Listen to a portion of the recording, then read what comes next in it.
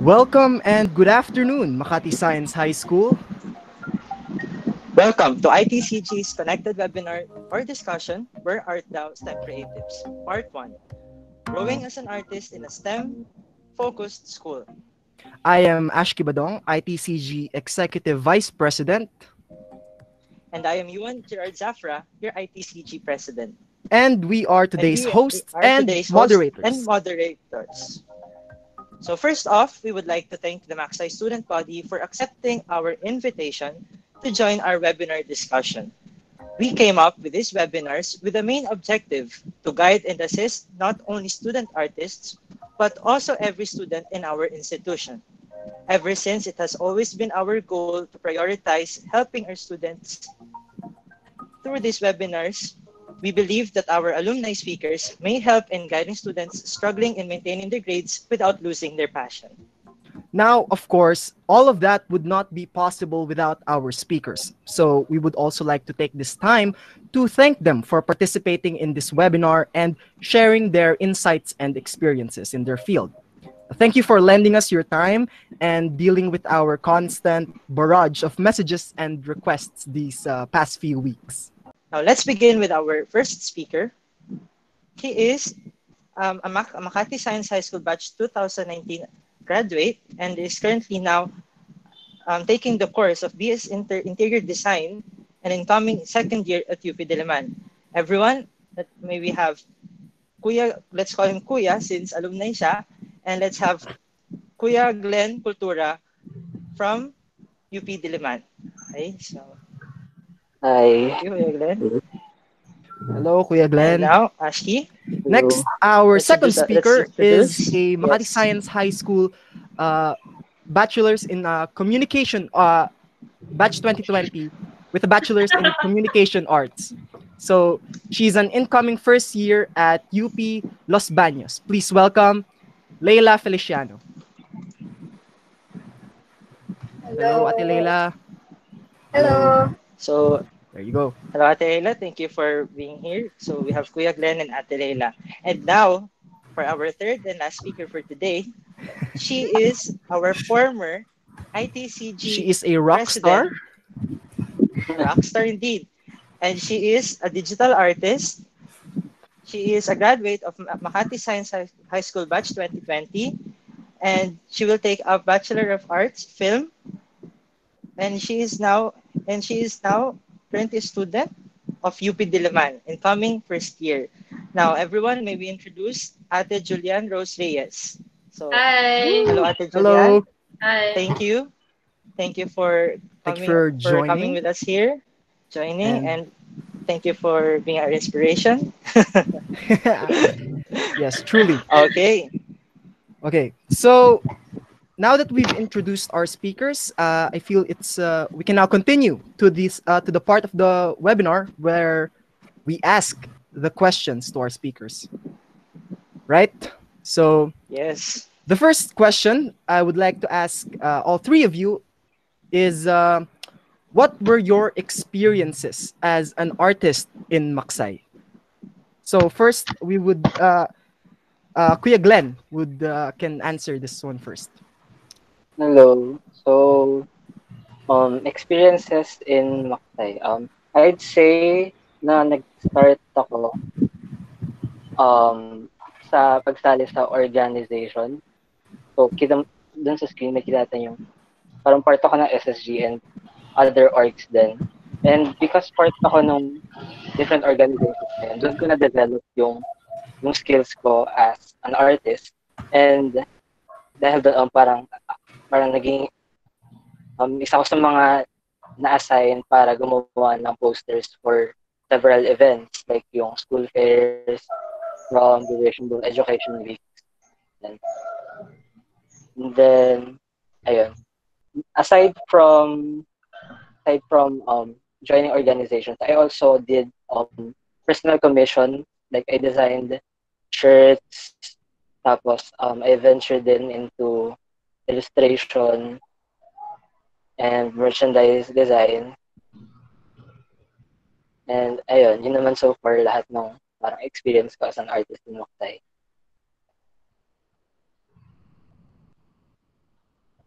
Okay, thank you, uh, Kuya Glenn. Uh, next, uh, Ate Leila, could you, do you have, uh, could you answer the question? Okay, so yung... Wait, narinig ba ako? Yes po. Okay, yung nag-start yung experiences ko sa na being an artist sa Macay, eh syempre sa classroom and group presentations. Ah, doon ko nahasa yung pagiging ah, performing artist ko. Ah, siguro after a few after some time, yun na yung naging role ko sa high school life ko.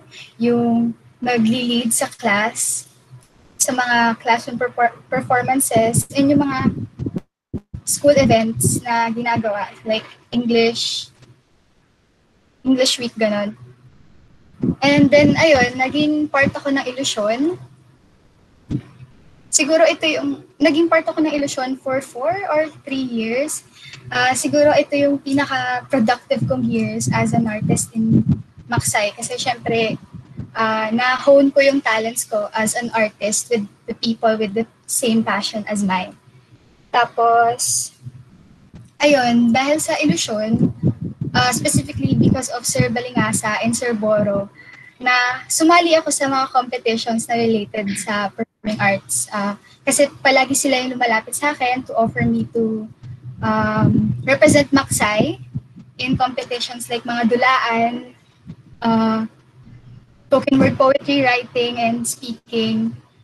Tapos, because of illusion din, nakasali ako sa mga workshops, free theater workshops. Kasi, ayun nga, I don't have the luxury to register in uh, professional workshops in PETA, ganun. So, sobrang blessing to have illusion sa growth ko as an artist. Tapos, ayun, yung outside of Maksay, uh, part of my growth is nakakuha ko ng internship in the Sandbox Collective sa Maybank Theater in PGC. Uh, I was offered an internship as an usher sa back-to-back show nila na Every Brilliant Thing and Lungs. So, sobrang nakatulong yon kahit one month pa lang ako nandun because of pandemic. And hopefully, pag bumalik na yung theater industry, itutuloy ko yung internship. Thank you, Ate Leila. Uh, next, um, Boss Jules. uh, what about you? So, naging part ako ng ITCG for uh, since nung grade 11 or 10. Yeah, ayun. Nung 28, school year 2018 to 2019, naging vice president ako and president naman nung last school year.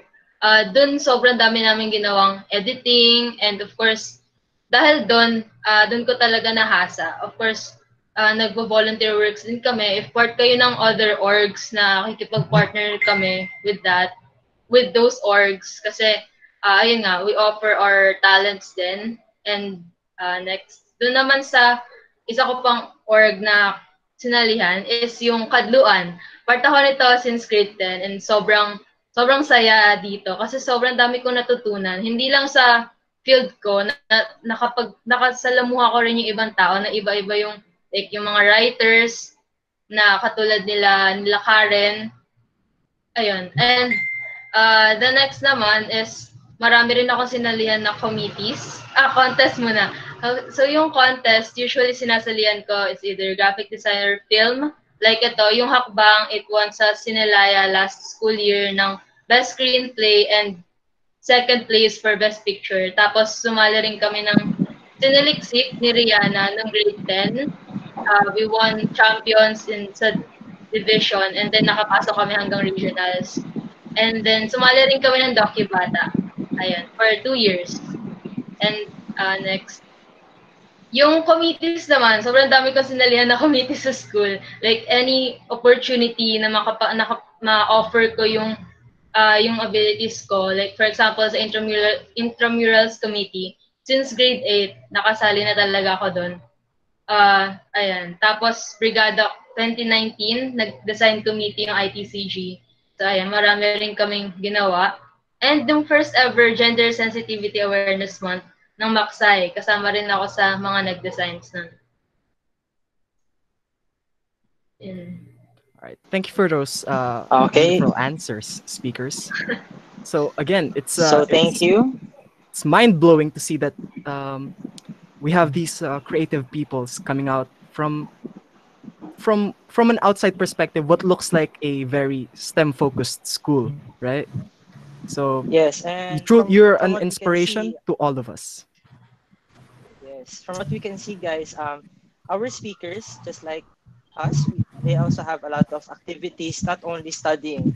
And during and during that um, time that they're studying in Maksai, they're also pursuing their passion. Okay, so thank you, speakers, for sharing your experience in our school.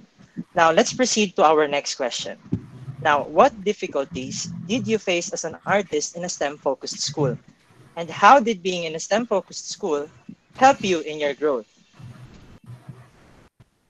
Now, maybe call on Kuya Glenn um, to share his ex- experience. Okay. So for me, yung yung difficulties ko lang naman talaga sa sa ginagawa ko is yung pag-balance talaga ng acad- ng academic and responsibilities ko as a student leader. Also, 'di ba, STEM nga tayo, so parang heavy yung workload ng academics natin. So parang parang isa yun sa mga challenges na nahirapan akong lagpasan. Pero nalagpasan naman. Nagawa ko naman ng maayos, I think. And then yung last is yung yun, since parang ako kasi sineset ko yung standard ko for myself. So, somehow, nape-pressure ko yung sarili ko na mas gandahan pa. So, parang mas galingan pa. So, parang yun yung problema ko before. Pero, um, overall naman, it being in STEM school, sobrang it helped me kasi parang feel ko ang dami ko nang na-experience and knowing na na na nalagpasan ko lahat yun um, fulfilling siya for me.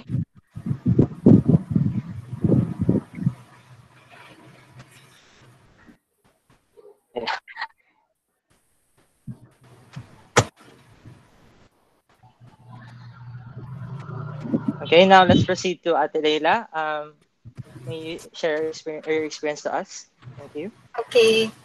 So, yung difficulties ko sa Maksay is I was always faced with a dilemma. Kasi it's either uh, ititake ko yung chance to hone my talents now or ACADS. Kasi, pala, hindi naman palagi, pero maraming times na nangyari sa akin yun. Parang namimili ako in, dun sa dalawa. For example, uh, ayun nga, di ba pala, sinabi ko kanina, palagi akong ino-offeran nila Sir Balingasa ng, ng chance to represent Paksa in competitions. There are times na tinatanggihan ko kasi kailangan ko munang mag-focus sa ACADS or like merong isang group presentation na kailangan gawin na hindi ko kaya mawala since ako yung mag-lead, ganun. Tsaka, I'm not saying naman na it's a bad choice na palaging pinipili yung ACADS. It's just that na ganitong time pa lang, naisip ko na yung magiging future ko if ever uh, pipiliin ko yung choice to hone my talents. Parang nararamdaman ko na na pag pinili ko yun, something's going to happen bad pag hindi ako nag-focus sa ACADS.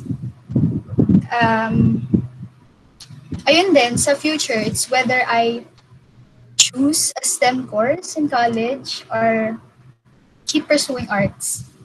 Yun yung palagi kong ino-overthink habang nasa maksay ako. Uh, also, I was pressured in a lot of ways. I was pressured to lead since, ayun, I shared with you kanina na parang yun na yung naging role ko sa high school life ko. So, every time na may cast production na kailangan ng tulong ko, I was always pressured to lead. Kasi nga, ina-expect na magaling ako doon kahit na alam mo yun, walang-wala akong creativity at that time. Parang sobrang walang-wala ako. So, pinipilit ko yung sarili ko na to be good at what I'm doing since they expected me to do it. Kasi lahat, lahat ng grades, ay, everyone's grade nakasalalay doon. So, ayun, pressured ako doon.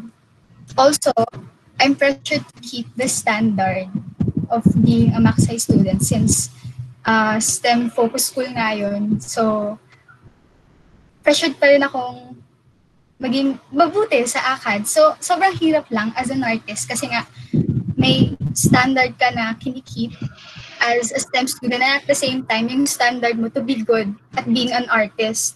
Kasi hindi ko kayang maging one of those students na, alam mo yun, uh, maghihintay na lang ng iuutos sa akin since ako nga yung ina-expect nilang mag-utos. So that's very hard for me kasi personally, nahihirapan na ako mag-juggle ng ACADS. Tapos at the same time, ayun nga yung pagiging artist. Kaya at some point in my life, uh, parang naging requirement na yung pagiging artist. Kaya uh, siguro nung grade 11, dun ako nag-decide to lay low first.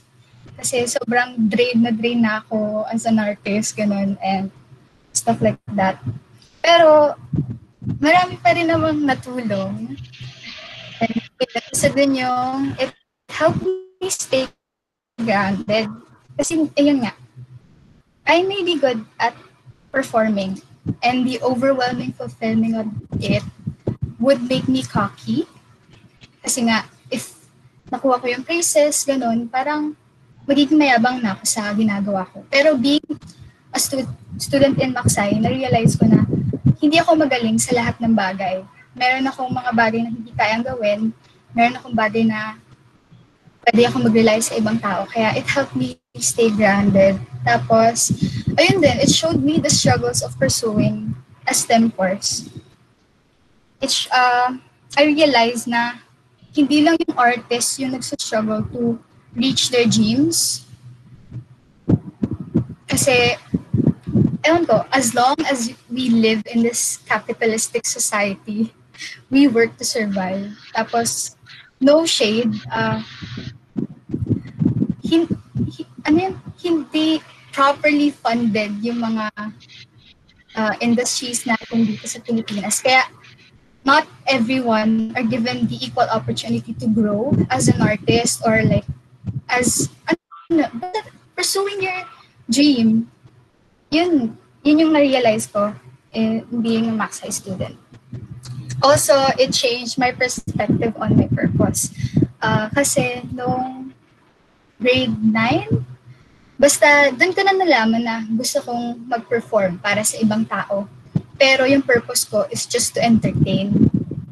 Pero as time passes by, kita ko yung mga kabatch ko na may sari-sariling dream, uh, gusto nila maging scientist to to help people in finding vaccines and stuff. Uh, parang na-realize ko na hindi ko hindi ko dapat purpose yung pag-entertain lang. Kailangan serve the people. Ayun. Thank you, Ate Leila, for sharing. And now, let's proceed to Boss Jules. Hi. Okay, so, uh, yung difficulties na na na-face ko sa sa Maksay as an artist is syempre hindi naman tayo art school. So hindi lahat familiar sa ginagawa natin. So minsan na may misunderstand nila yung process ng ng paggawa natin. So minsan that leads us that leads other people na i-mistreat yung, yung artist or yung art natin. So ayun. And the next is sometimes uh, sobrang gamit siya sa school natin, pero minsan sobrang little yung value na pinapakita. Hindi naman sa hindi nila binavalue, pero syempre hindi kasi yun yung focus ng school natin. So, ayun, marami, maraming pinapagawang short films, prods, mats, edits, pero wala naman tayong subject na nakafocus doon, like how to write scripts, build set designs, draw, illustrate, or mag-edit, gano'n, ng After Effects.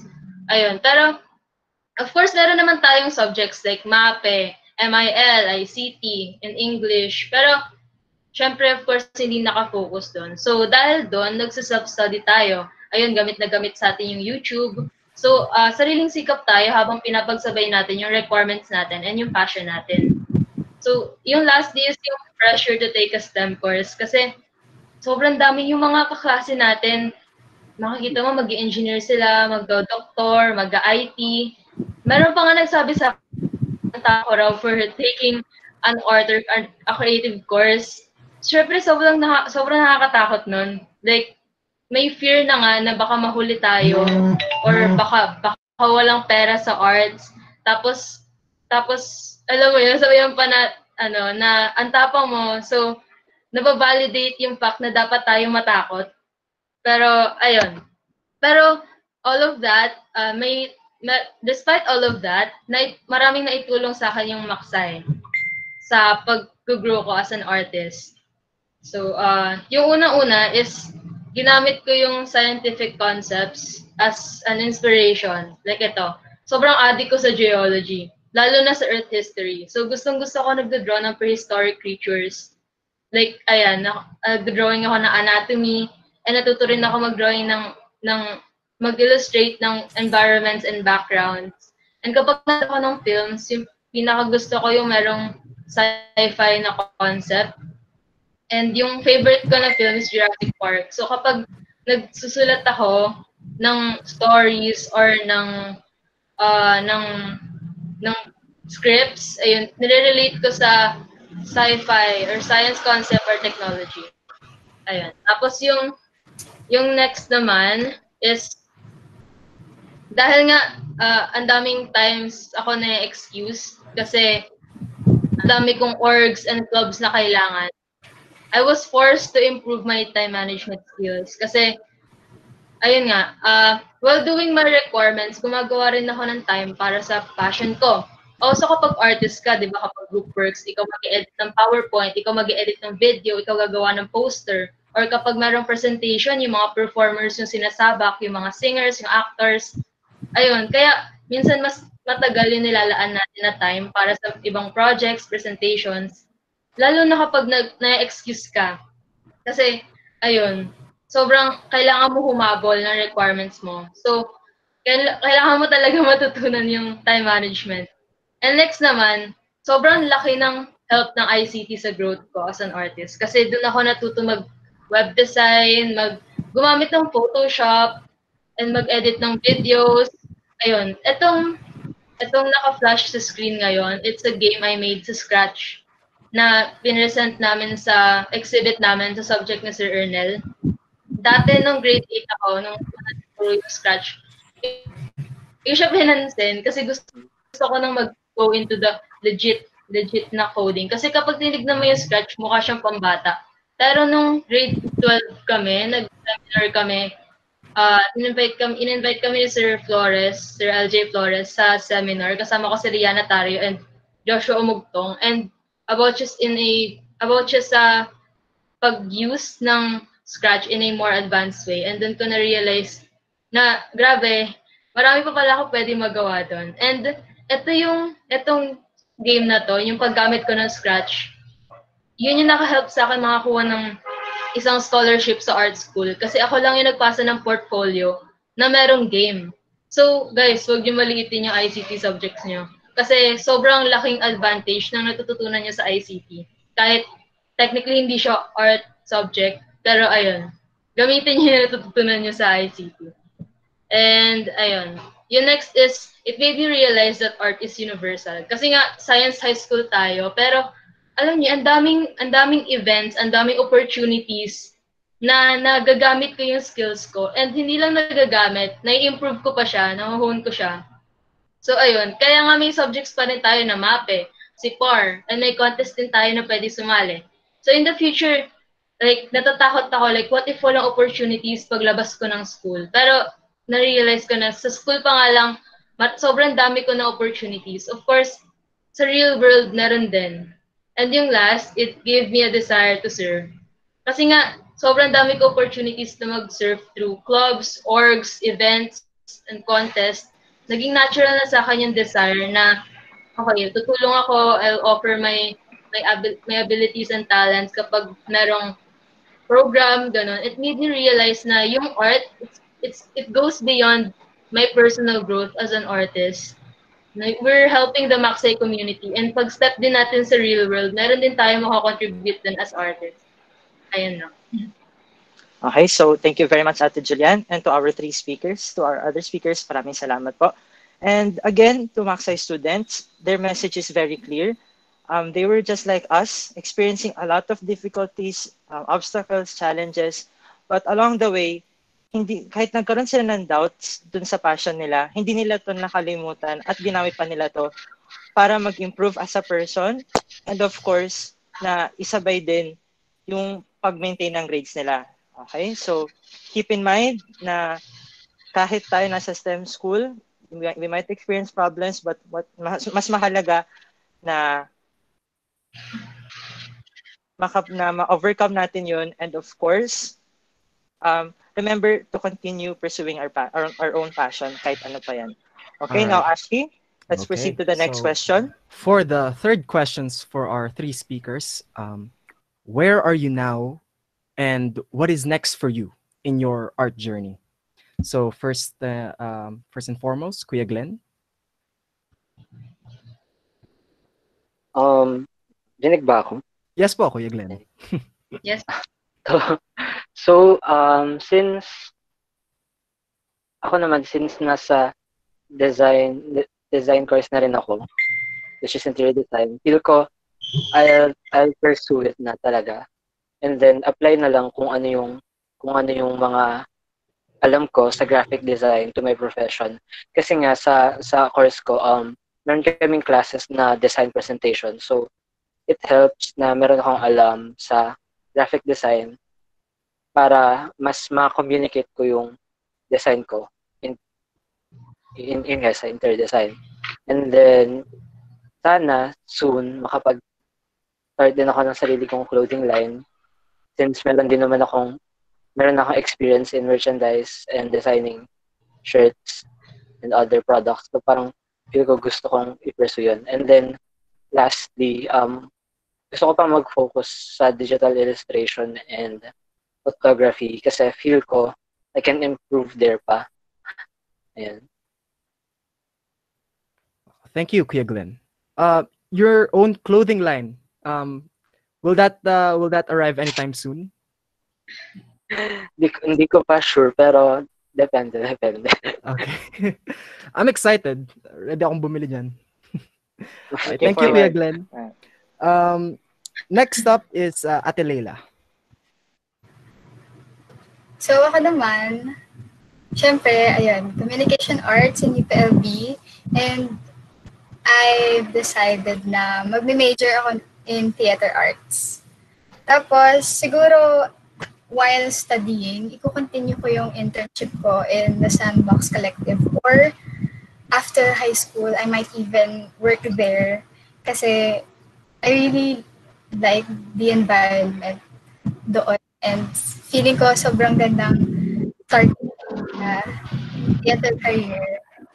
And hanggang dun pa lang yung plano ko actually and hindi ko pa alam talaga kung saan ako mararat, saan ako mapupunta. Pero siguro that's okay na hindi ko pa alam kung anong mangyayari sa buhay ko. Um, marami namang mangyayari sa college life. Siguro hope for the best na lang. Yes, that's uh ito naman 'di ba na you know, it's great uh it's not a bad thing na hindi ka pa sure kung saan ka pupunta kasi that's that's potential. Right now, your potential is uh, is infinite. You can go you know, on a lot of different directions. So, thank you Ate Leila. Uh, next up is ten ten ten ten Boss Jules. Hi, so uh, incoming college freshie ako sa UP Diliman and I'm going to take BA Film. Sobrang struggle nun kasi may dilemma ako na meron ako nakuhang scholarship sa isang art school and kasi yung yung course ko doon is a STEM course. Kasi sobrang laki ng scholarship as in alam mo yun may food stops tapos ayun basta ang, ang ang laking deal niya. Tapos pero nakapasa ako sa UP in an art course. So, ayun, nag-deal ako sa dilemma na yun, pero I still chose film in UPD. Tapos nagde-design ako in a local streetwear brand. May kakilala ko na meron siyang clothing clothing line. Tapos nag-help ako mag-design doon. And ayun, doon pa lang ako. I think uh, I hope, I really hope sa college, mas marami pang opportunities na mag-open for me. Ayan. Thank you, Ate Julian. So, tinurn down mo yung uh, other scholarship for UP. Huh? Ah, yeah.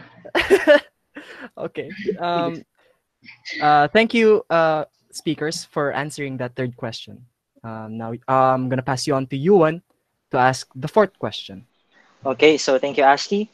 Now you've al- you've, you've already heard um, our speakers' experiences, their challenges, and what are their plans on the future.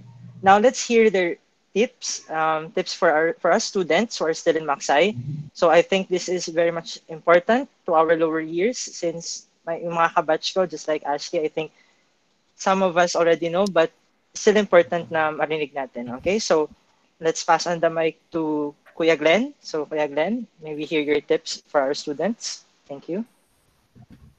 So, ayun, um, unang-una, unang, unang Always bibigay ko is, ano, to do better.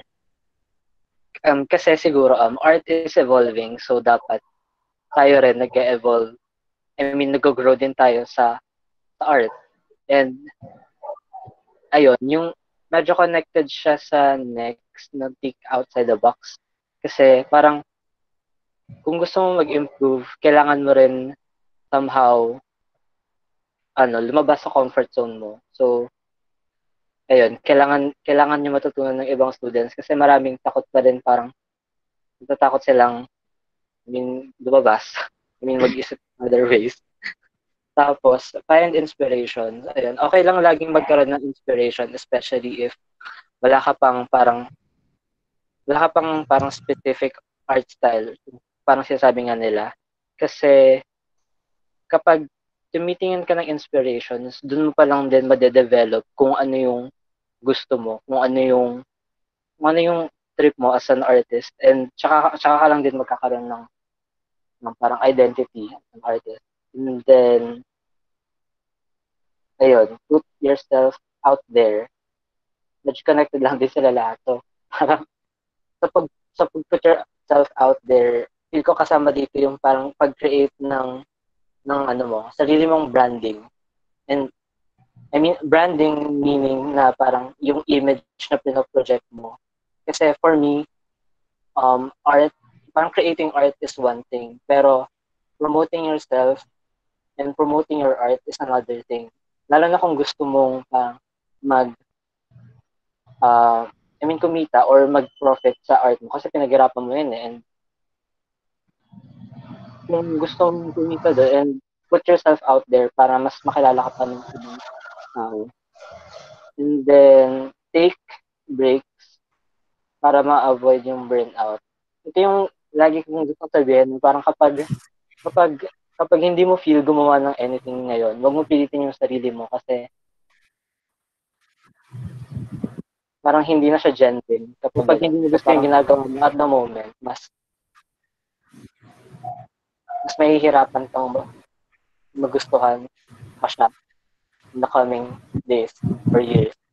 So, mas maganda na parang kung kailangan mo ng break, mag, mag pahinga ka muna. And then, ayun, enjoy your craft. Para, para masaya. Para, para masaya. enjoy mo lang siya. Huwag mo siyang tingnan na parang trabaho.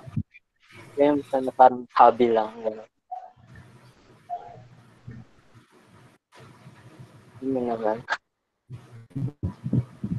Okay, sige. So, just like what Kuya Glenn said, always remember to always think outside the box. And of course, um, put your always put yourself out there and remember to take breaks to avoid burnout. So, take note, guys. Ah, um, this, these are very important points since um, I think most of us are experiencing these things. Now, thank you, Kuya Glenn. Now, let's proceed to Ate Leila. So, what can what advice or tips you can give to our students? Okay, so ayun, first, learn. Being an artist is not just about talent. It's about hard work. So if you have the privilege, you can register in professional seminars, workshops, and trainings para mahasa pa yung talents mo sa acting, singing, or dancing. Uh, pero pag, ayun, kung wala kang time, kung wala kang budget, you can join orgs you can join Illusion. And kasi eh, makakasalamuha mo yung mga tao na same or same passion with you. Kaya very helpful for your growth.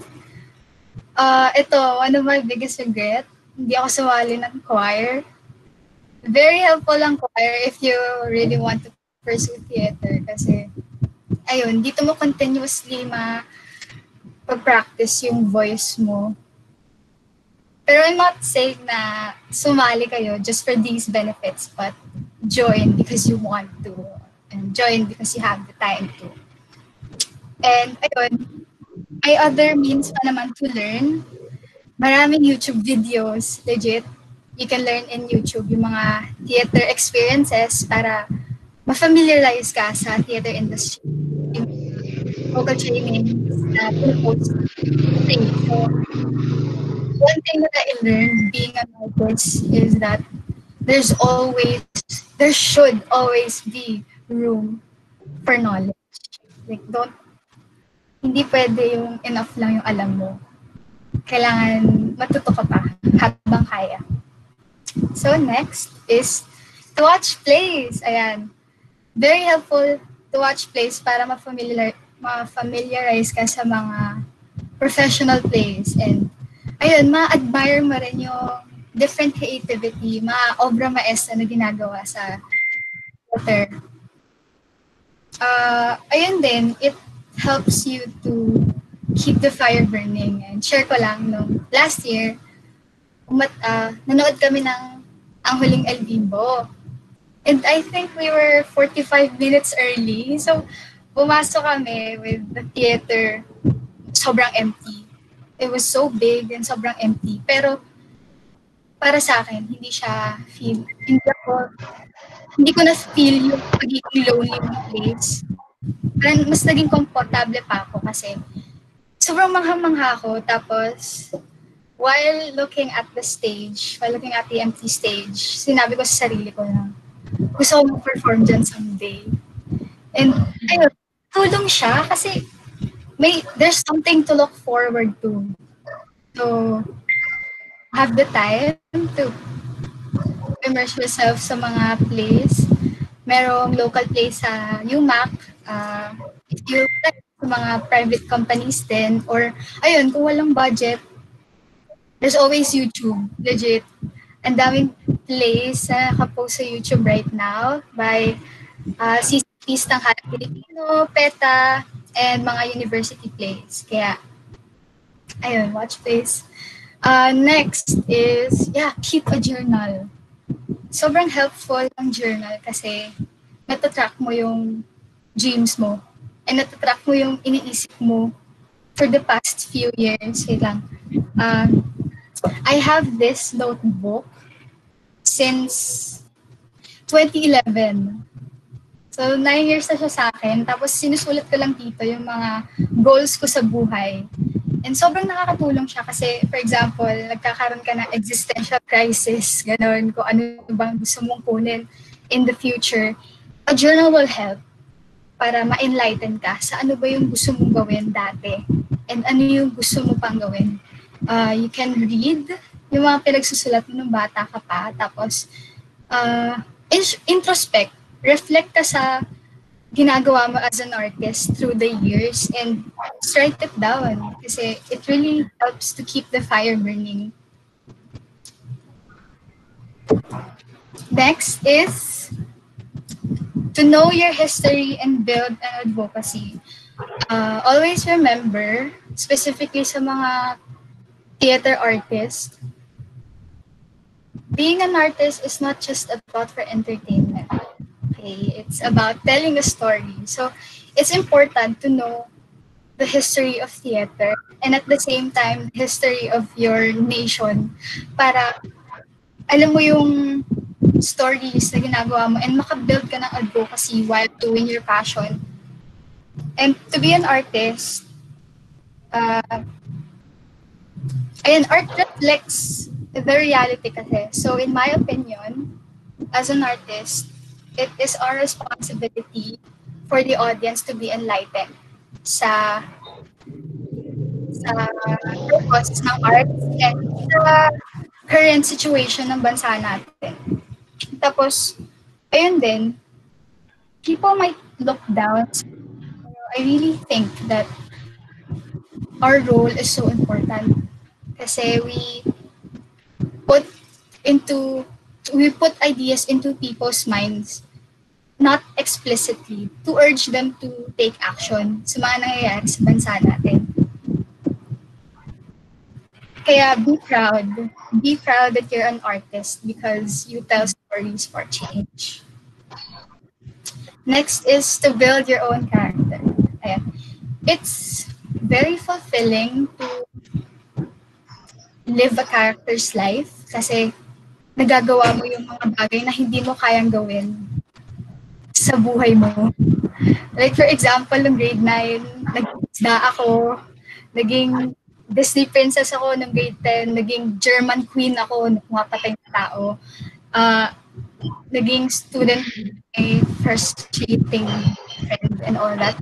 Sobrang roller coaster ride of being a performer kasi ayun nga, sobrang daming experiences and at the same time, you get to look at the world with a di- different perspective. Pero sana at the end of every production, you get to detach yourself from your character and be original. Uh, know yourself, know your limits, know your weaknesses and strengths, and grow as yourself, not as a character. And last, stay in the reality. It's okay to dream big, but it's not but there's nothing wrong in being and there's nothing wrong in being an idealist.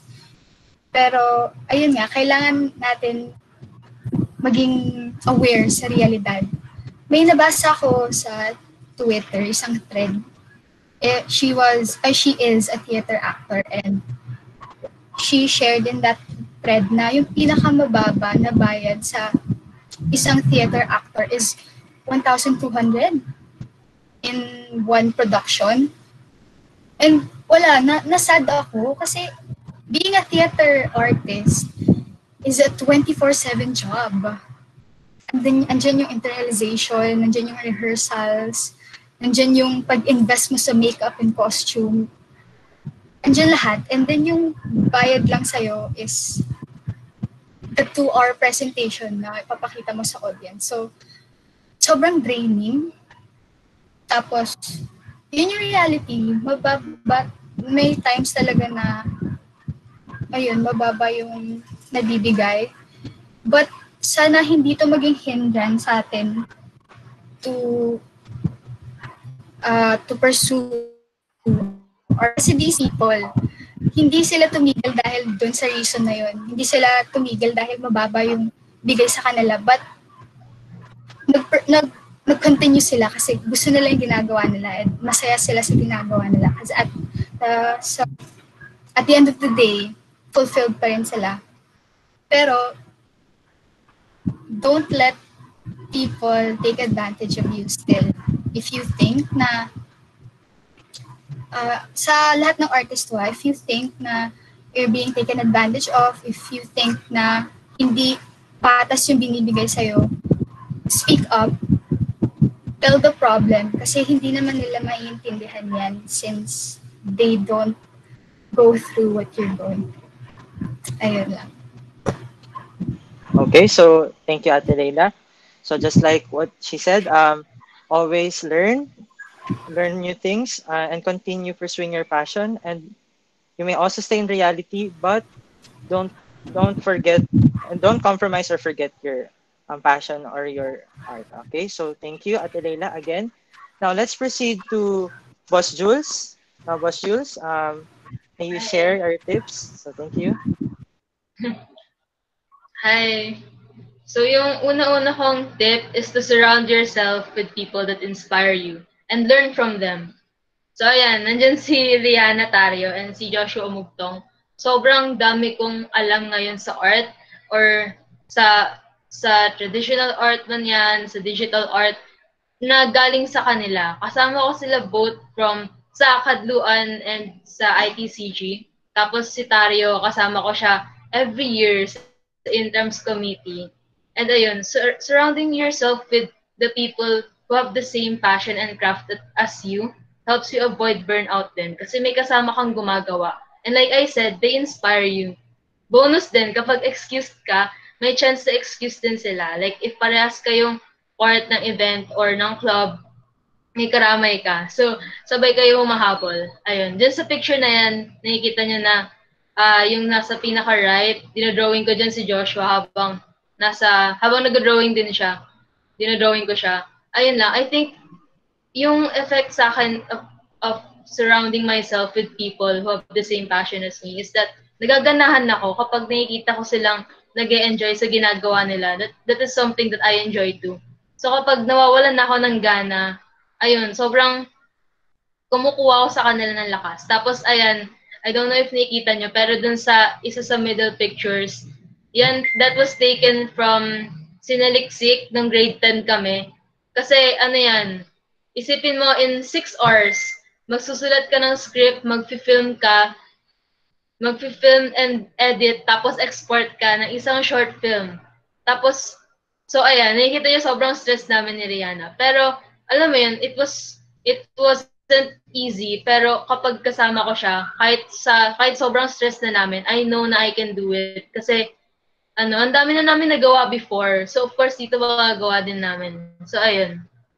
The next naman, is, ayun, join clubs and orgs. And kung, kung possible, be active constantly every year para makikita mo yung kung paano ka nag improve And you can use that to look back and see how much you've improved.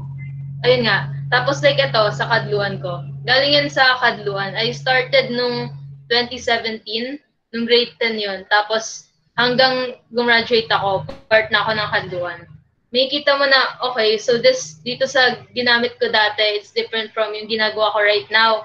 And may kita mo kung meron bang improvement. Like, ayan, lagi kong binabalikan yung 2017 ko, yung merong anghang noodles yan, yung nasa likod ni Via. And first time ko kasi yan sa Kadluan and hindi pa ako ganun ka familiar with everything. Tapos ayun, hindi, hindi rin ako masyadong knowledgeable nung time na yon.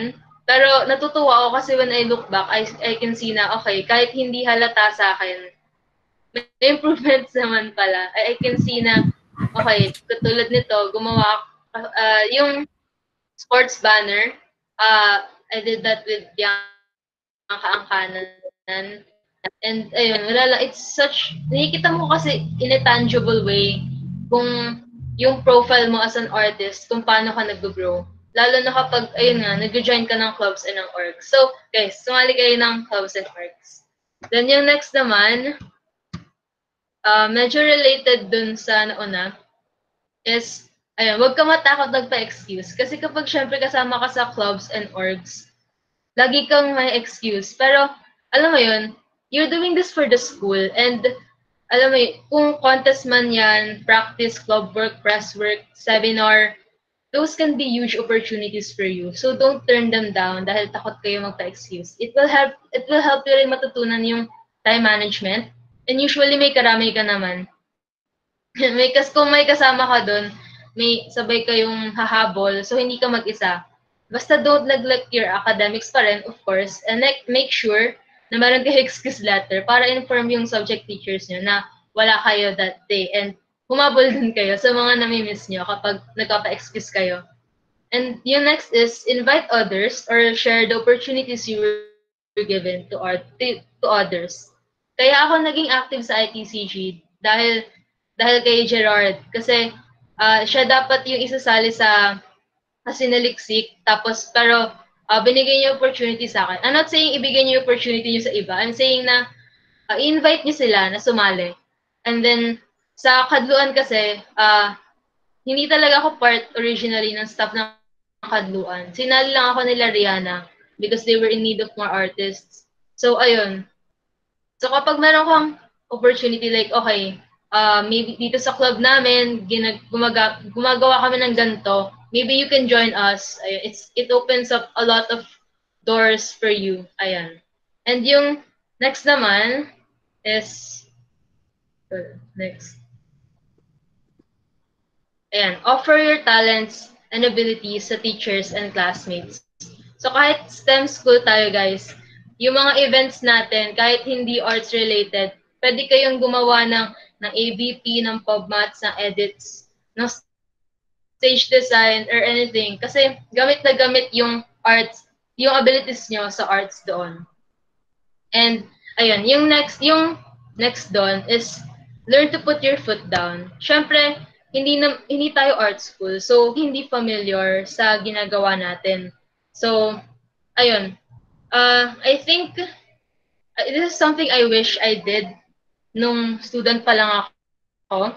Kasi napapansin ko, ayun, ay, uh, hindi masyadong valued yung, I'm not saying na hindi binavalue, pero hindi ganun binavalue yung, uh, yung artists. Minsan, minsan. Kasi, uh, hindi naman, like I said, hindi naman familiar lahat dun sa ginagawa natin. So, ayun, kapag hindi na fair yung demands, learn to say no or put your foot down. Have boundaries and wag, ma- wag magpaabuso. Kasi how they treat you is possibly how they're, probably how they're going to treat other artists inside and outside Maksay. So, ganun. Of course, a lot of what we do is volunteer work naman. So, wala namang bayad. So, the least we can all do is treat each other well ayun, if someone doesn't treat you the way, the way you deserve, help them understand in a constructive manner naman para hindi mangyari yun sa'yo next time or sa other people. And I'm sure hindi naman yun yung intention ng other people, if ever. Kasi, alam mo yun, we're all learning here. So, let's help build a community that values you as an artist and other artists as well. And yung next is, don't be afraid to suck at things if we only do things na magaling tayo, marami tayong hindi gagawin. Kasi, alam mo yun, uh, uh, nakaka-pressure kasi parang uh, may thought sa isip natin na everything we put out kailangan masterpiece. Pero tayo kasi, uh, well, like I said, self-study tayo and when it comes to our art, uh, hindi naman tayo like naka-focus talaga doon usually. And since hindi nga tayo art school. So, ayun, uh, be patient with yourself lang and continue learning. It's okay to do bad art and it's okay. Then next is do things at your own pace. This is something I'm still teaching myself. Of course, importante magkaroon ng discipline. Pero yung pressure and fear na we're falling behind our artist friends can be super paralyzing. Doon sa mga nakakilala sa akin, I made an art account nung beginning ng quarantine, pero hindi ko siya natuloy because of this. Because of this. Ayun, dahil dun sa pressure na yun, and yung thought na, oh my God, marami namang mas magaling sa akin. Ayun, bakit ba ako mag, bakit ba ako mag-release ng art or ayun, mas marami silang followers, ganun. Parang, I feel like I was falling behind my friends. So, ayun, I think we have different ways of getting over this naman. Pero, I think it's an important step to acknowledge na it's okay to take time. We might not get there as fast as we want to, pero hopefully we'll get there at our own right time. So, yun lang. Uh, yun yung tips ko for you guys. Lang. Okay, so thank you so much, Ate Julian. Um, so just like what you've mentioned, again, um, guys, please take note and remember na, remember na um, since wala na, wala, parang umuunti na lang yung tao na active sa clubs. Personally, na-observe ko rin yun. Um, let us all be active. Okay, so remember that. Then next, of course, just like sina- sunod na sinabi ni Ate Julian, huwag matakot may excuse. okay, so that's that's very accurate since syempre um We need syempre, more people, guys. Yeah. And syempre, um, kami nila Ashley, we work with Ate Julian and tulad nga na sinabi niya, mahalaga na kasama mo yung mga tao natutunan, na marami kang natutunan. And personally, ako, ang dami ko natutunan kay Ate Julian. Di ba, Ashley? Kay Ate Julian. Yep. Yes, kay Ate Julian. Oh my God. Ang dami ko natutunan sa'yo. Okay, so thank you so much to our speakers. So guys, please take note. Remember all these tips since they are very important and very relevant sa experience natin sa Maksay. Very. Now, Ashley, and, I think yeah, we have okay. Yeah, you, you have something to say? I, I, no, before that though, I would also like to I would just like to add na yung mga tips na binigay nila sa atin, I feel like it's not just for your art or for the art you do. I think the the great thing about these tips is that they apply to life in general. Like Indeed, keep yes. a journal, know history, build an advocacy, stay in reality, don't be afraid to suck at things. those things in life in general, those things are very uh, those tips are very important that I think all of us have uh, has have to take to heart. So Yes. yeah, again, thank you to all. Uh, Thank you, speakers. really. Okay, now Um, Ashki, I think we have. Let's proceed to our next Yep, segment. Okay. So uh, we we will be having an intermission uh, before we get to our Q and A section. Um, but before that, uh, I would like to remind all of the all of the participants in this uh, meeting that you can type your com- uh, your questions and comments in the chat box. So Chat box. after the uh, intermission, the speakers will be answering your questions. yes, we will read your questions and We will answer it. So we'll now answer it. we yes. will uh, we can proceed to the intermission. Okay, Luke.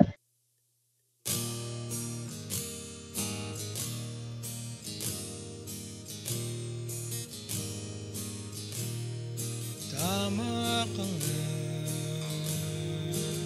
Walang saysay kung itutuloy pa. Hayaan na natin ang bukas.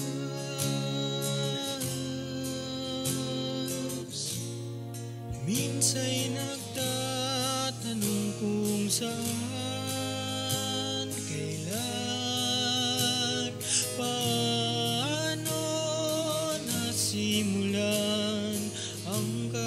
katapusang mahirap takasan Pero wag na ibato mo na lang sa ulan. Ilang awit pa ba ang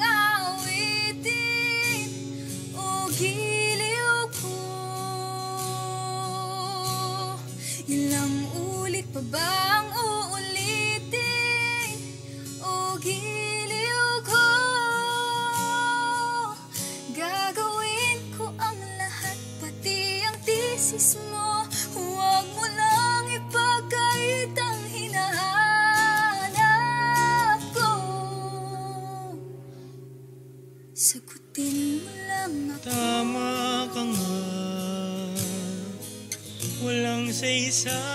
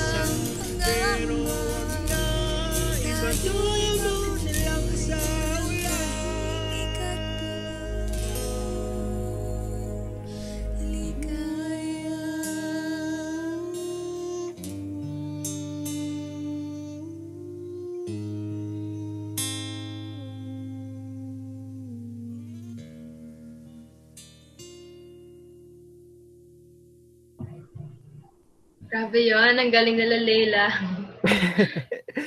So that was um, uh, F. Del Castillo and Ate Leila Feliciano.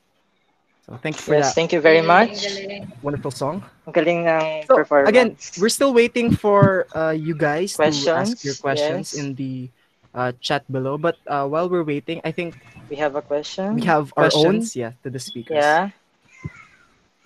So, So, okay, Hmm. this one's actually from uh, another member of uh, former member of ITCG. ITCG. uh, Gia. Yep. Um, she asks, uh, how do you encourage or persuade your family that you will take a non-STEM course? Because they enrolled you in a STEM school, and now you're choosing. For me, this is also I'm I'm struggling to do this for me as well because uh, we're all scared that they might not accept that. So how do you convince your parents that you're taking a non-STEM course? So let's start with Kuya Glenn. Yes. um, for me, mahirap talaga yung, yung ganun eh. Especially na meron pa ring stigma na parang in, walang pera sa art. Diba? So parang mahirap, mahirap i-convince yung parents natin. Lalo na ng mga parents na gusto maging successful yung anak nila na mag-pursue ng art. Pero, I think, ano, siguro, kailangan mo rin, ah, kailangan ano, kailangan sure ka din sa kung anong gusto mo. To like give them, give them like plan kung paano mo gagawin yung mga yan. Kasi baka, baka mahirapan, mahirapan ka makonvince sila. Siguro, parang gano'n. Kayo ba? Hindi ko din sure eh. Ano yung iba? Ako, ano, pinakita ko talaga sa family ko na ito talaga yung gusto ko gawin. And nakuha ko rin naman kasi sa kanila yung love ko for film kasi sobrang hilig nilang manood ng movies. Mami ko kapag bored, tara nood tayo sa Netflix. O kaya, tara sine tayo. Yung mami ko kasi senior citizen na siya, so free na siya sa sine. So, ayun. Nakuha ko sa kanila yung love for that. Kaya, ayun. Alam nila na gusto ko yung ginagawa ko. And, meron, and, ayun, I show them na, okay, itong artist na to, kumita siya sa ganito. So, eh, uh, I'm showing them that there's nothing to be afraid of para sa akin. I'm- I'll do my best naman. Ayun. Ikaw, Leila. Ako, wala ako masyadong input dyan kasi well, I'm blessed naman to have a parents na sobrang supportive sa kung anong gusto kong i-take sa college. Ah, ayun, support lang sila sa akin. Pero, um, my dad is somehow talking me, ah, talking to me na, pwede mo namang i-balance yan. Paano pag kumuha ka na lang ng STEM tapos on the side lang yung yung passion mo. Pero pero pwede naman kung kumuha ka ng arts pa rin kasi doon ka naman masaya. Yung mga ganong talk. Siguro, ano lang, ah nang nahirapan lang ako pag sumasali ako ng competitions na kailangan ko mag-invest ng money para mahone yung talent ko. Yung mga competition sa school, yung mga dance vaganza na kailangan ng costume, kailangan bumili ng costume. Doon ako nahirapan i-convince yung parents ko. Ah, siguro one way to show na ah one way to convince them is galingan nyo sa ACADS. Legit, galingan nyo sa ACADS. Ah, ipakita nyo sa kanila na kaya nyo yung i-balance yung ginagawa yung ginagawa nyo. And at the same time, ginagawa nyo ng maganda yung ACADS. That's true, that's true. Tama po yan. Okay, so thank you so much to our speakers. Now, let's proceed to our question. So this question is from Jillian Mangasir. Okay, so what is your message to aspiring artists or artists themselves who are not supported by their parents? So again, what is your message to aspiring artists or artists themselves who are not supported by their parents? So this is a bit, it's a hard question. So who'd like to go first? to our speakers.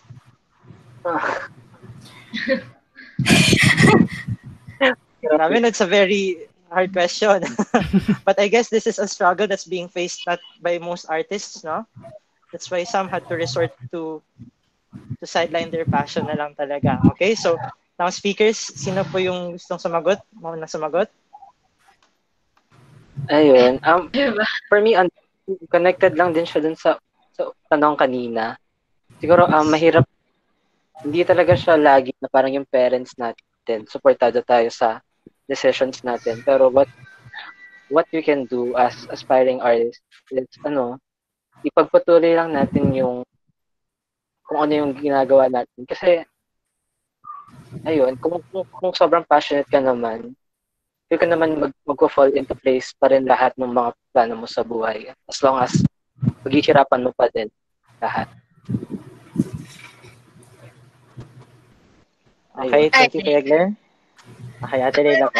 ano, don't stop at what you're doing. Kasi, not to rebel against them, but it's your life. Yun yung, kung yun yung gusto kong gawin, ipagpatuloy mo lang. And kung kaya naman, um, do what makes them happy at the same time. Kasi uh, sabihin na natin na kung, kung hindi ka supportado ngayon, maybe pwede mo pang magawa yung passion mo in the future. Siguro it's okay na side lang side, nasa side lang siya ngayon. But if you can support yourself na kung kaya mo nang kaya mo na yung sarili mo, uh, magagawa mo yan ng maayos in the future. Okay. If Uh, thank you, Ate Leila. naman, Ate Leila? me, Boss Jules? All right, go. Ah, for me, if hindi mo ma, if hindi mo talaga ma-convince yung parents mo na dito ka masaya, dito ka mag uh, mag-grow as a person, uh, basta find a way na mabigay yung art mo into the world. Uh, kahit anong way man yan, don't stop don't stop doing your passion kasi alam mo yun, the world needs your art. Ayun, yun ang sabihin ko.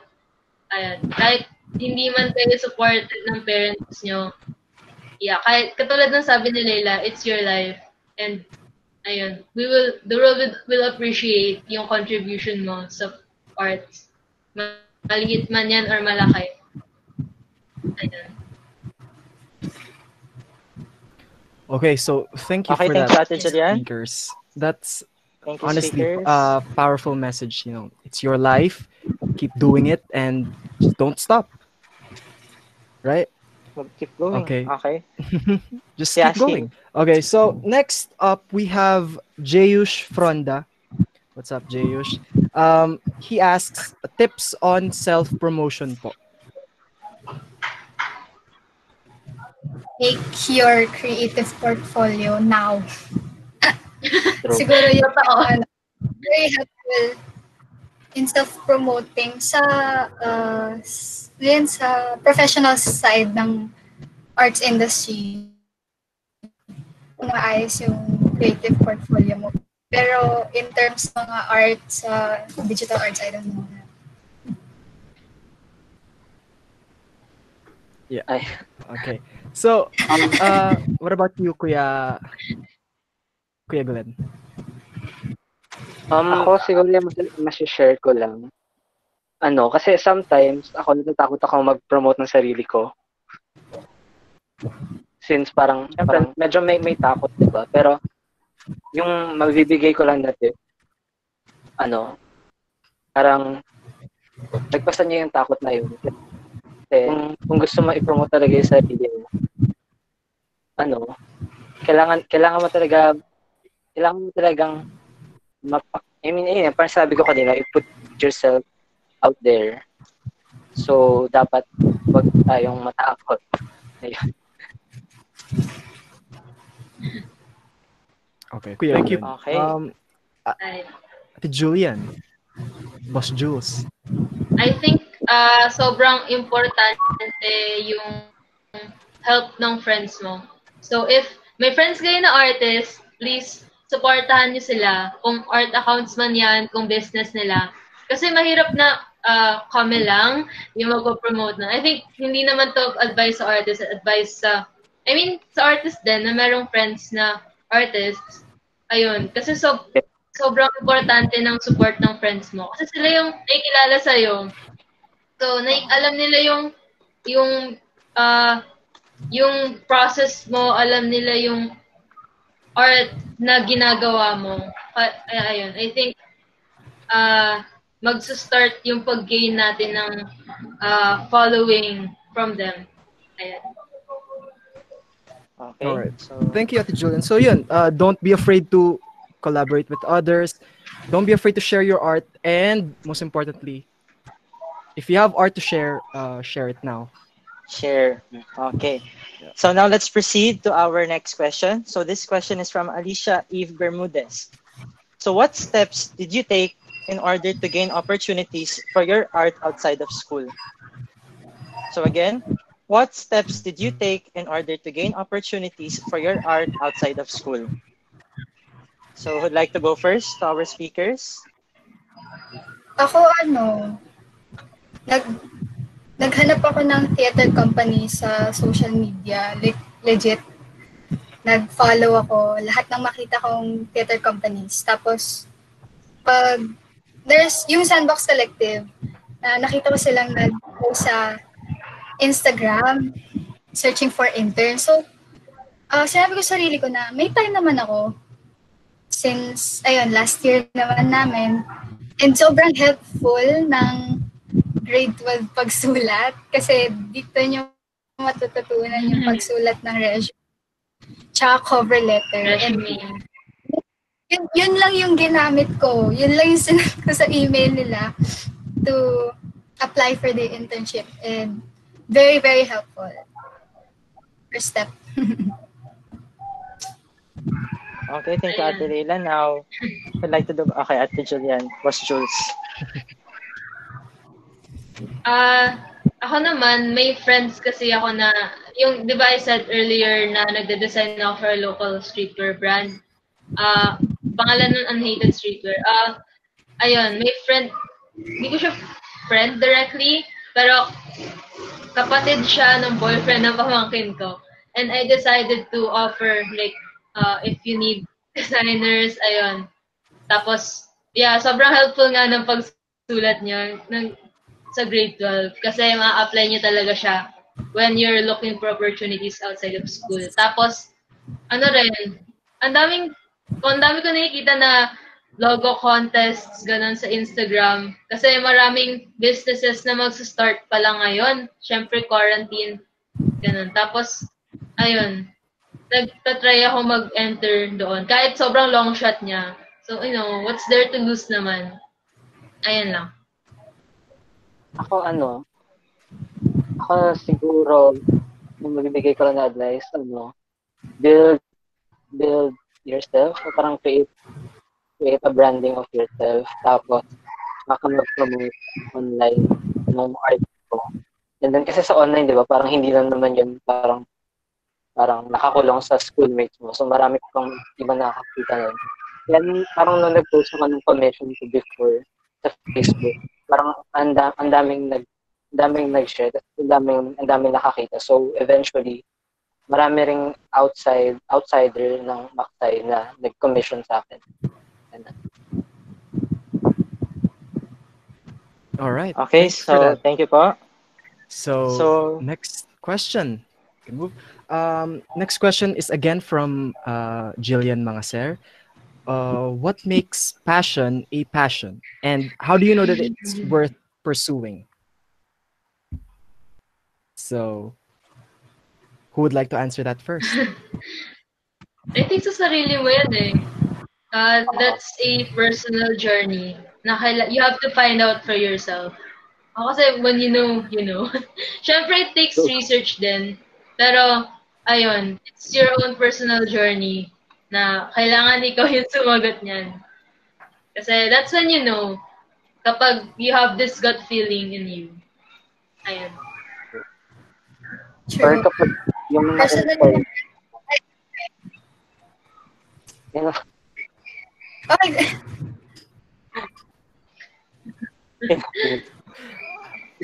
muna. si Kuya si Kuya Glenn daw muna. Okay. yung, yung passion lang naman siguro for me yung mga yung mga interest mo. Yung kung anong gusto mong gawin na hindi mag hindi mo feel na parang diba, parang trabaho or yung parang hindi ka obligated to do it pero ginagawa mo siya out of your willingness to do it.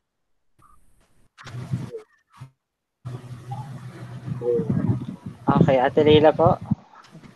And personally, uh, ano yan, yung, gus, yung, parang yung goal ko lang sa boys, para maging masaya. Gusto ko, masaya ako sa ginagawa ko.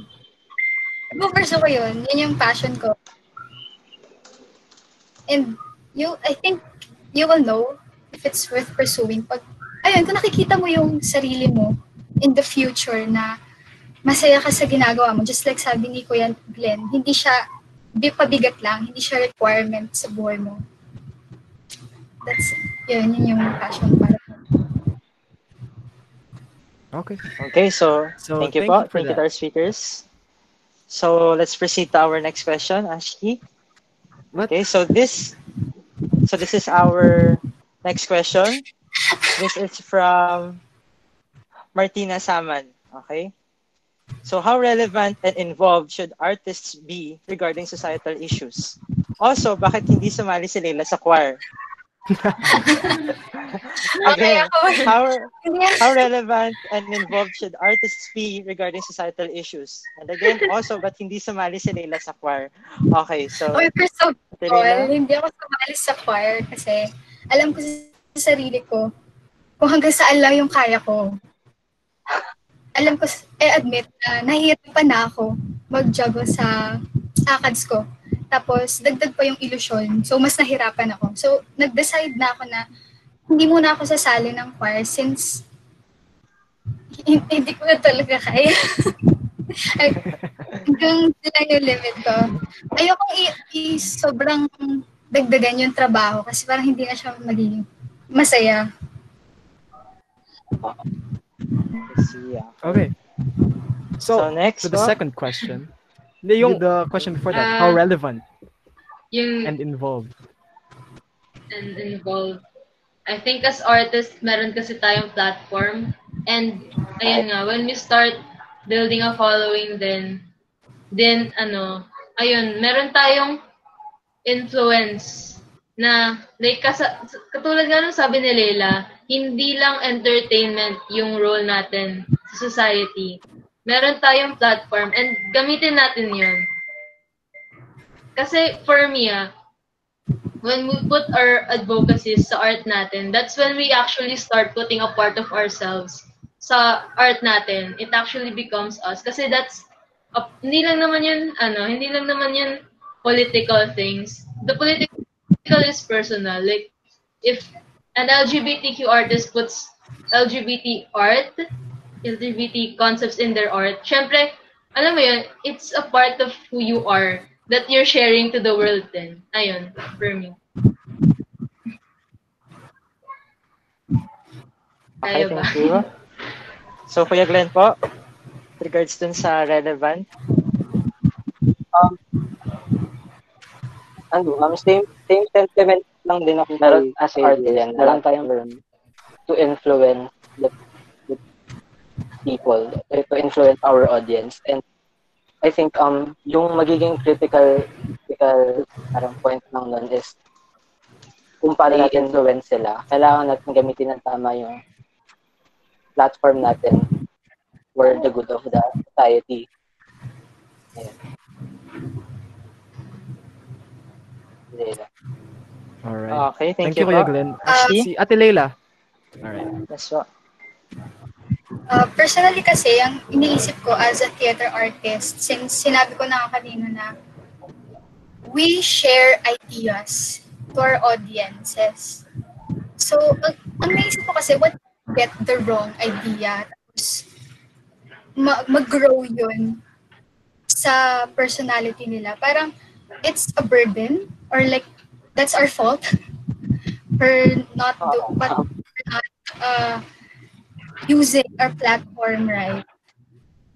Kaya I really think it's our obligation to be involved sa nangyayari sa society natin. Ayun. Dagdag ko lang, ayun, may responsibility tayo as artist, as artists na i-educate din yung sarili natin. Kasi once we build our influence na, ayun, ah hindi lang tayo yung tum- nakatingin sa sarili natin and yung friends natin. Maraming nakatingin sa atin. So, ayun nga, malaking responsibility din siya. Ayun. Okay. Thank you Okay, for that, thank you. speakers. So now we move on to the next question. Um, this is from Pamela Therese Villoria. For students who are in conflict with what they wish to pursue in college, particularly the conflict between STEM and art-related courses, how can this inner conflict be resolved?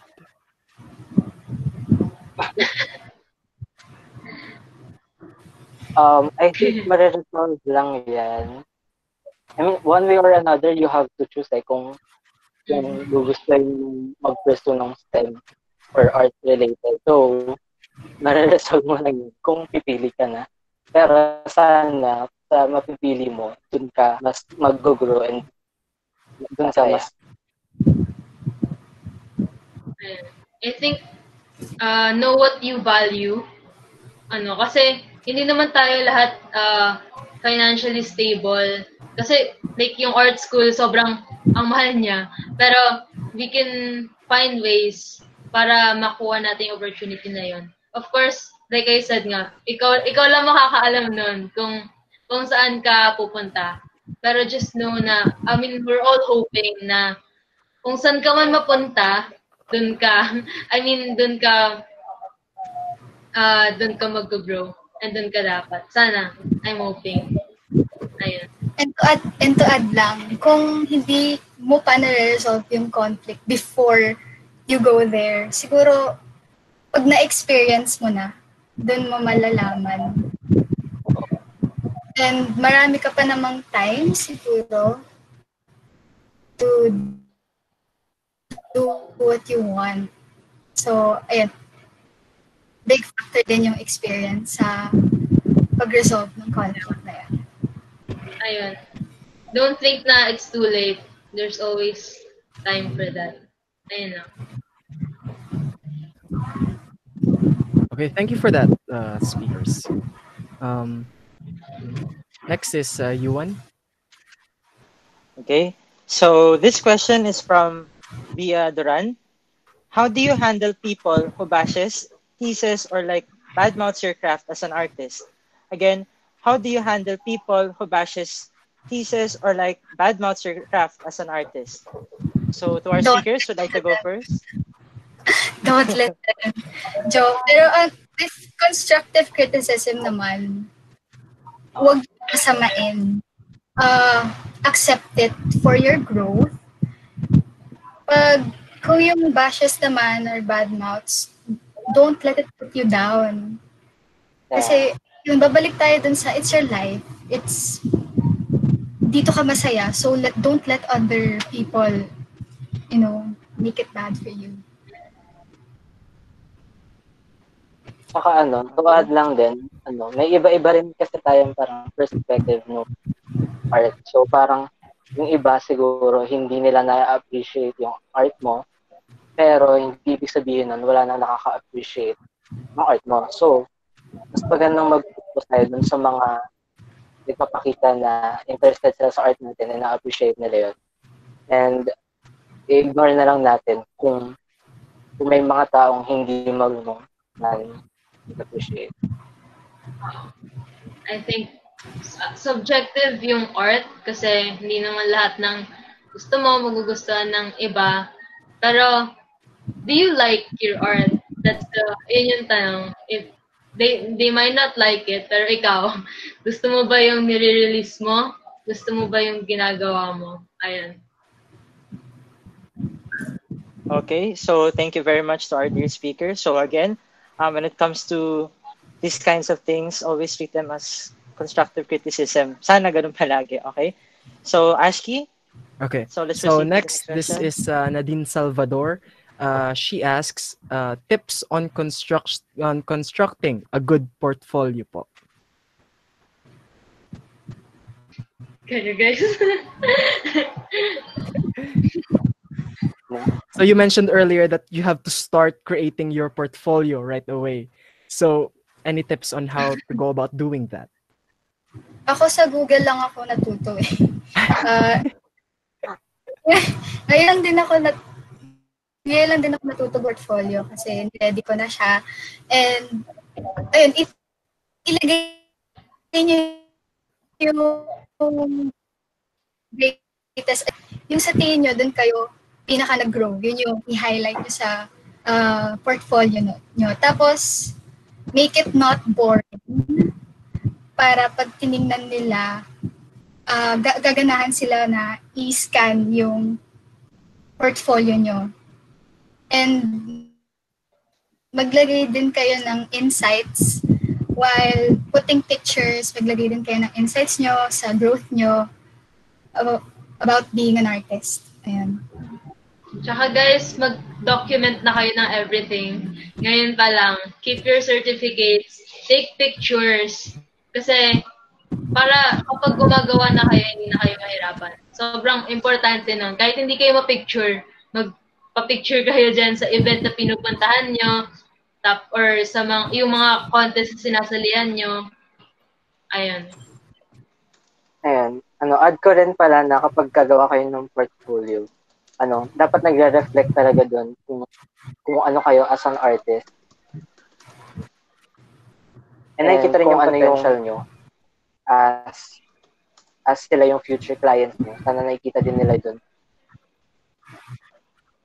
Yung potential mo as as their artist.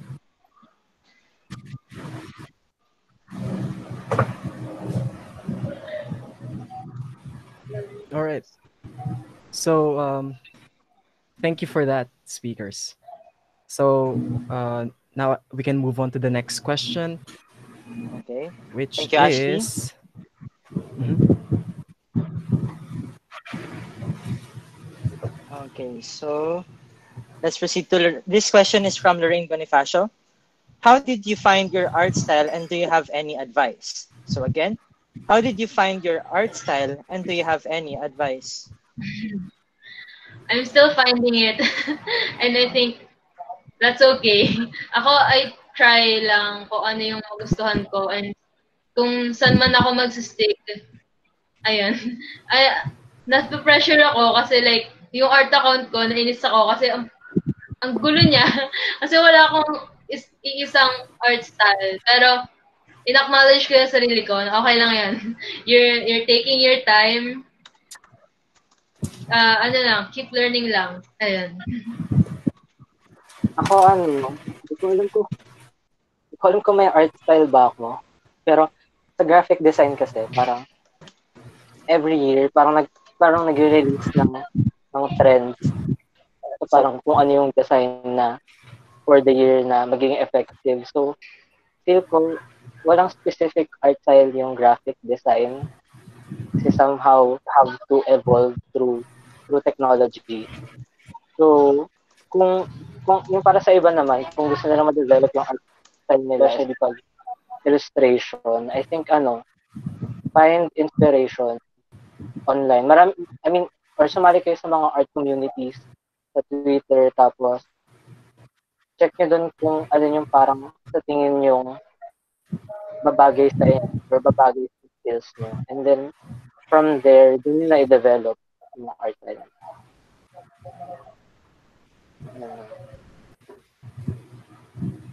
Okay, so thank you very much, speakers.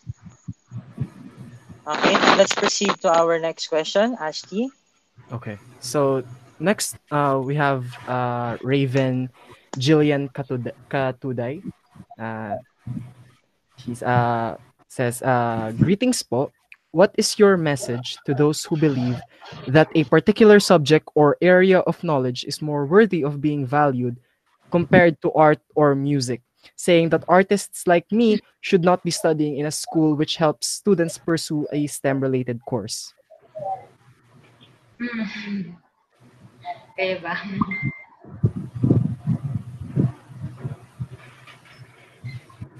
So, um, who would like to go first? Any insights?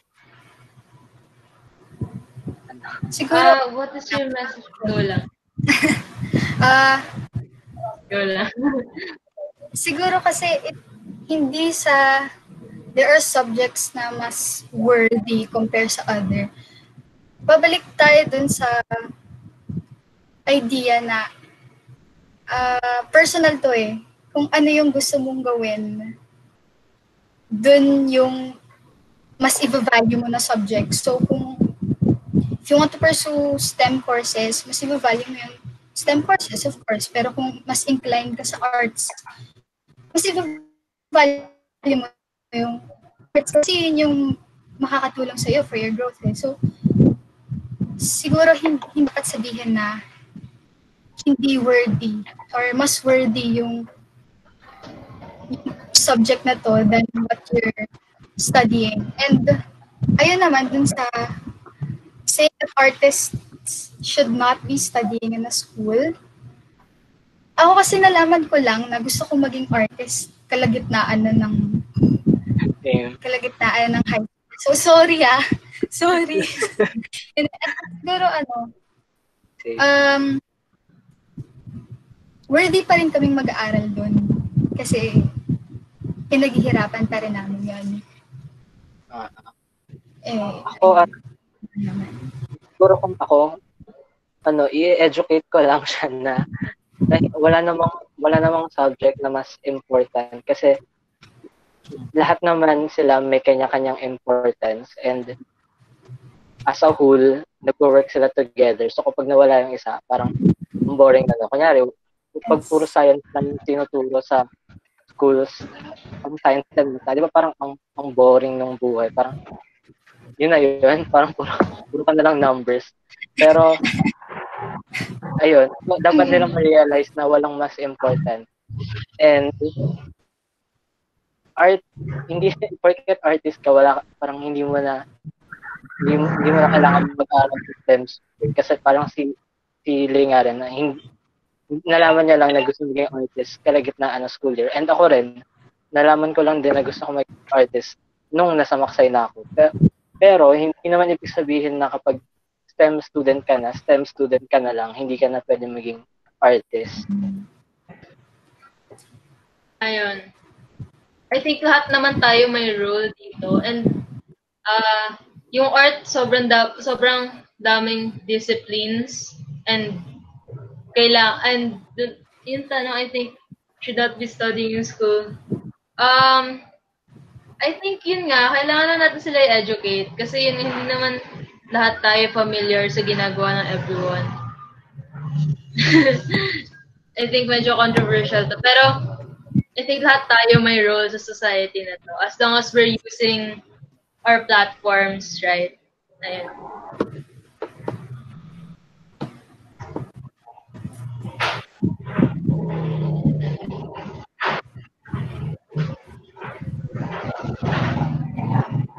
Okay. So thank you for that, speakers. So um, now we will ask our. Um, we're, we're close to the end of our uh, Q&A section, and we will be asking our second to last question. So this comes from Daniel Tabnao. Uh, actually, he's asking on behalf of Kyle Sol, if I'm reading this correctly. Yep. Okay, so he says, uh, Good afternoon po. Can you suggest softwares or programs for beginners in graphics design? Also, what channels, websites, or pages can you uh, suggest that will motivate you to improve your art?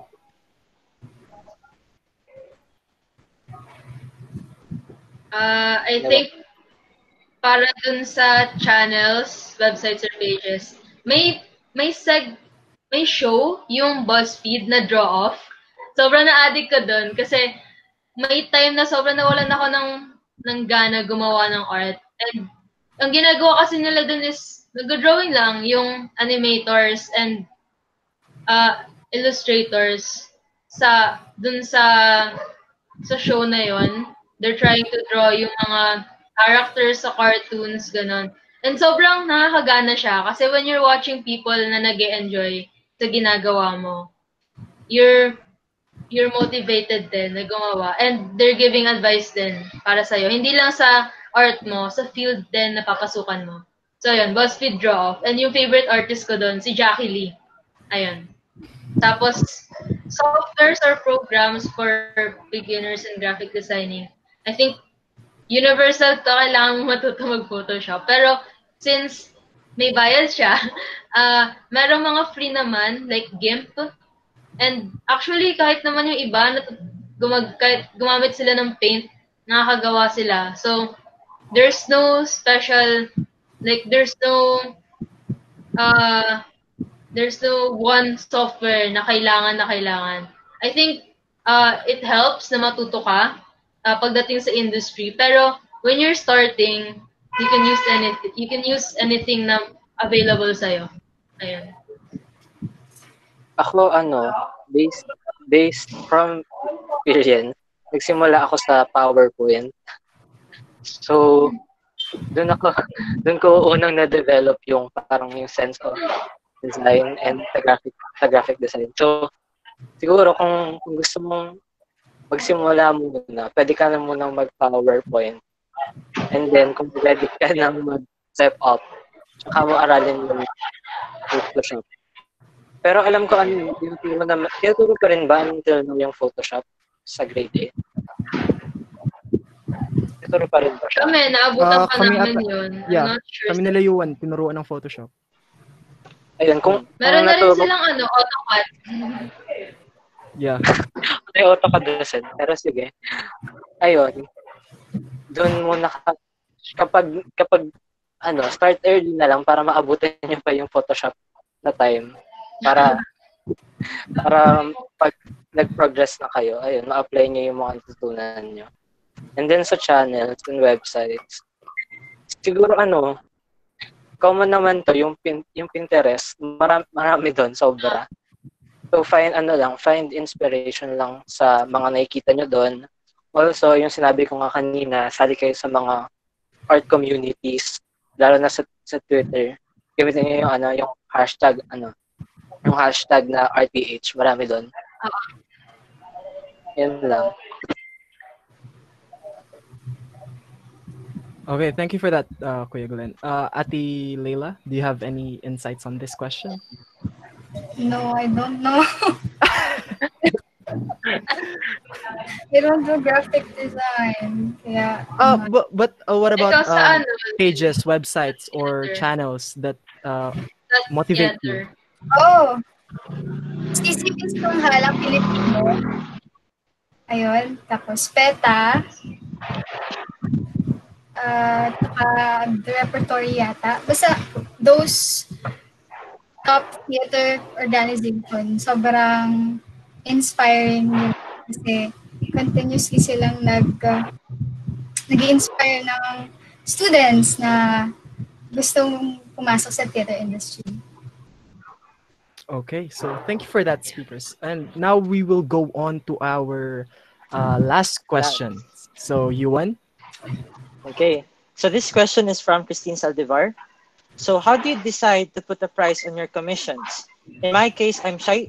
I'm too shy to ask for anything or name a price because I believe I'm not a professional. So I believe this question is quite related to our second part of our webinar. So I guess before the speakers answer the question, we'd like to invite you to still attend our second day. So again, how do you decide to put a price on your commissions? In my case, I'm too shy to ask for anything or name a price because I believe I'm not a professional. Okay, so I relate. speaker, Ate I Julian. relate.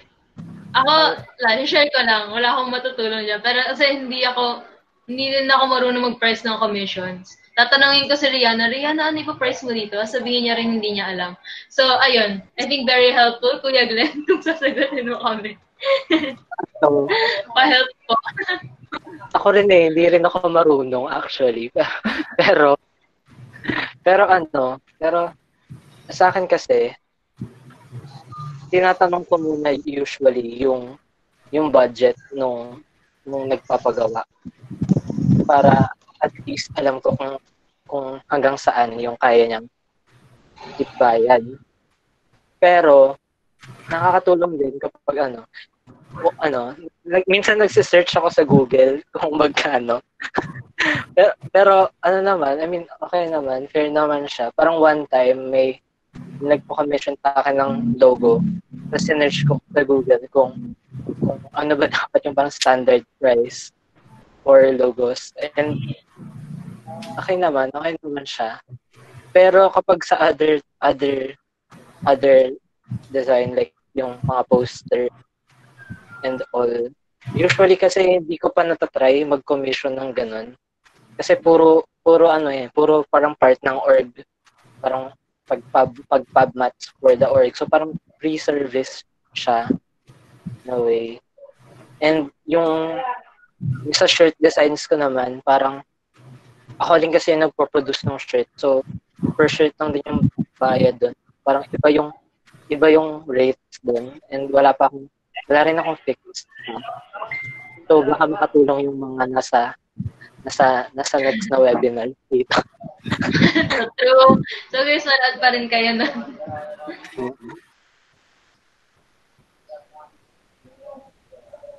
Okay. So thank you so much to our speakers. So Kuya Glenn, Ate Leila, and of course Ate Julian for participating and answering those various questions. Okay, so Ashley, so may may Yo. we request? may we request? So and thank you for that, ask? speakers. Yes. So guys, uh, for everyone here, um, uh, you'd be surprised to know that we're actually joined by our uh, club advisor, um, Yes. Sir LJ Flores. So Now, can we ask our dearest club advisor, Sir LJ Flores, for any last messages to our speakers and of course to our dearest Maxi student body? So, sir, Thank you, Ashley. Ayun, before that, um, ayan, sobrang, ewan ko, na-flattered ako sa mga insights ng ng mga speakers like Julian, Glenn, hi Glenn, and syempre si Leila. Ayan, um, napaka, kumbaga parang genuinely positive yung mga narinig ko. And, ayun, I, I just wanna say na thank you for sharing your work with not only uh, with not only to us or not only us but for the world. Okay, na kumbaga parang yun nga nabanggit kanina na na kayo as artist yung question kanina no na na parang ang sabi kanina na anong masasabi dun sa mga nambabash, nag-criticize. Ayun, kumbaga parang kayo kasi pag nag-share kayo ng, ng mga designs niyo ng mga art ninyo, fearless na yun eh. Wala na kayong takot dun kasi pinagmamalakan nyo kasi ito yung gawa ninyo. Okay, and um, ayan, thank you also for reminding us of what's possible. Ayan, na kumbaga parang yung mga bata, ah, yung mga lower years na ini-inspire nyo sila ah, to work hard and um, to, uh, ini-inspire nyo rin sila na, na mag-grow pa okay, sa kanilang mga sarili. Ayan. And um, gusto ko rin sabihin no na yun nga yung kay kay Glenn, tama yung kay Glenn yung sinabi niya kanina na yun yung yung art since part ka ng organization, kumbaga parang voluntarily, ayan, you will give your your best, or you will give your best shot, kumbaga. Okay? And um, ayun, thank you for what you create. Ayan, kasi kahit kahit kumbaga parang in one picture, pwede niyang sabihin lahat. Okay? Kasi yun yung power ninyo eh. Actually, sobrang blessed na mga katulad ng mga artists talaga sa sa mundo. Okay? At kumbaga parang lagi kong lagi ko silang hinahangaan doon kasi hindi naman ako artsy na tao. So, ayan, ang laki ng respeto ko sa inyo kasi mahirap yung ginagawa ninyo. And, ayun, um, actually, habang nakikinig ako sa inyo, kasi 1-7 ako pumasok dito, so naririnig ko na yung mga question. Ayan. Um, kumbaga parang naging outlet din yung mga speakers para ma-challenge pa yung mga yung mga um, yung mga students ngayon na nasa Maksay. Ayan. And again, thank you for sharing your story na kumbaga parang kung wala kayo, hindi maririnig yung mga boss ninyo and hindi rin may inspire yung mga katulad ninyong aspiring artist. Ayan. So again, thank you Leila, Julian, and Glenn. And also thank you for the ITCG. Okay, ayan, ang galing mag-host ng dalawa nating ano, dalawa nating sa araw na to. Ashley and uh, you. Ayan, yun lang. Maraming salamat at um, very good yung discussion. Congratulations ITCG and congratulations to all the speakers. Ayan. Thank you po, sir. all right. So thank you, Sir LJ. thank you, sir. So, as a token of our appreciation from ITCG, not just ITCG, but uh, Makati Science High School in general, we would like to present our three speakers with this digital certificate. So, if you would allow me, I would uh, read it out.